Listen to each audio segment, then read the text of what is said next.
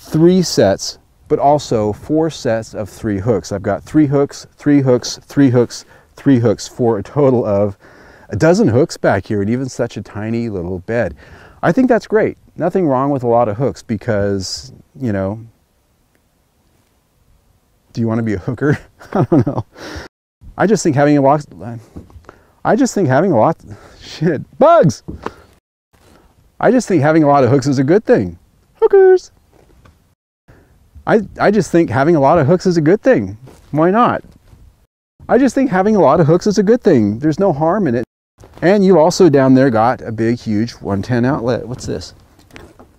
You've also got a 110 outlet down there. You've also got an AC 115 outlet down there. That with a dozen hooks, how can you go wrong?